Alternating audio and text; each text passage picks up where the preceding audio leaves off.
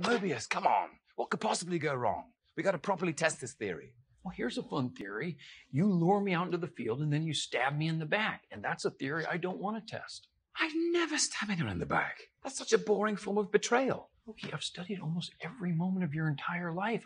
You've literally stabbed people in the back like 50 times. I'd never do it again because it got old. Okay.